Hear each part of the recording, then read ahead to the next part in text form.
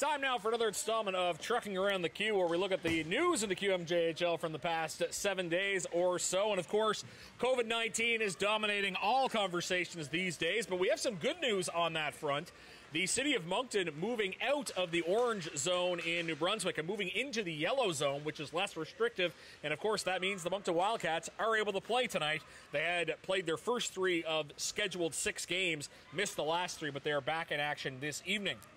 The news not as good in the province of Quebec. Unfortunately, the city of Shawinigan going into a red zone, adding to the list of teams that were already there, along with uh, Victoriaville, Drummondville, Gatineau, Blainville, Boisbriand.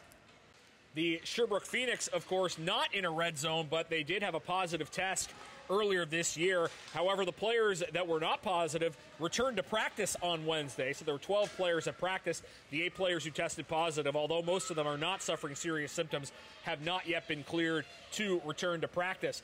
There has been a positive COVID 19 test in the Drummondville Voltigeur lineup. So, just backtracking here as to what happened. This outbreak started with Blainville and Sherbrooke, and then the Q eventually suspended play in all of its Quebec based teams, but they all continued to practice except for Blainville and Sherbrooke. Well, Drummondville cannot practice because of this positive COVID test. All the players and staff must be isolated. Some non COVID 19 news. The Victoriaville Tigres have surrendered a player on their protected list, and that is Nathan Morin, who they drafted this year with the last pick in the first round, 19th overall. He has committed to Harvard University, so the Tigres cutting bait on that pick. And what that means is they will pick in the same spot in the 2021 draft. This is actually something that Victoriaville did last year as they picked Guillaume Richard in the 2019 draft. He didn't report. They surrendered the pick and picked Pierre Olivier Waugh at seventh overall this year. And Pierre Olivier Waugh is playing in Victoriaville. And uh, we heard Matthew Vachon talking about him last week. He apparently has been very good for the Tigres. So again, Victoriaville will pick 19th overall. And the reason a 19th overall pick was in the first round was because of compensation picks, because obviously there's only 18 teams in the QMJHL. This year, Nathan Morin, as I said, will move on to Harvard. He had 40 points in 41 games last year with Lévis in the Quebec Midget AAA League. News out of Halifax, we've been talking about on the broadcast. William Robitaille has been added to the Halifax Mooseheads lineup. We're going to hear a bit more about him from uh, Scott McIntosh during tomorrow's broadcast. He had 32 points in 35 games last year with Lévis, where he was teammates with Nathan Morin.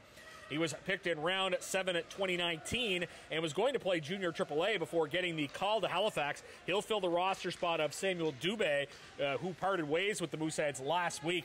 Robitaille is eligible to play on November 6th because, of course, coming from the province of Quebec, he has to do the two week quarantine. Of course, the bigger story out of Halifax this week Justin Barron returning to the Mooseheads lineup. He had 19 points in 34 games last year before suffering a blood clot injury. He's in his 19 year old campaign, and he was just picked in the first round, 25th overall by the Colorado Avalanche. Taking a look at the team of the week in the QMJHL for last week's activities. Felix Antoine Marcotty of the Acadie Bathurst Titan is there. He had six points in two games, and he was the player of the week. Another 20 year old forward from Bathurst, Matthew Desgagnés, also on the list. He had five points in two games. And a player we'll see tonight, Markus Vidicek of the Halifax Mooseheads, had three points in two games. The 16 year old is the third forward on the team of the week. The two defensemen on the team of the week, Adam McCormick of the Acadie Bathurst Titan, the former Eagle, had two points and was plus three.